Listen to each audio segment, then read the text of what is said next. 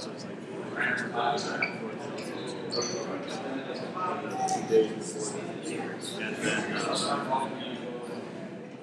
and then I.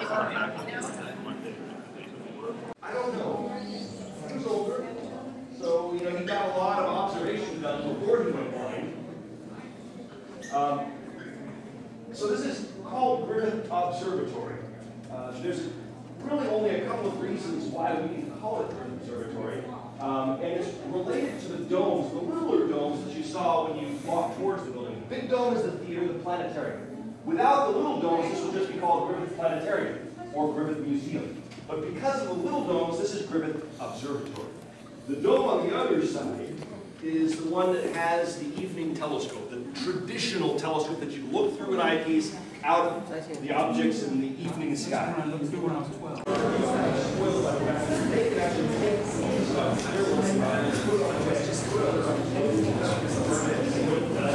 Astronomers are stuck just looking at stuff, and it'll be marvelous and so that's about all we do.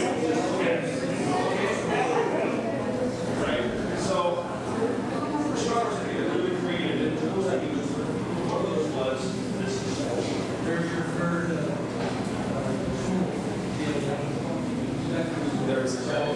spectroscope, the light, our light can absorb or emit this one. Oh, by the way, this one. So chemists learned about the electrons in atoms. And we got to take advantage of that information. And when you look at the sunlight and say, we see the signatures of hydrogen, just like we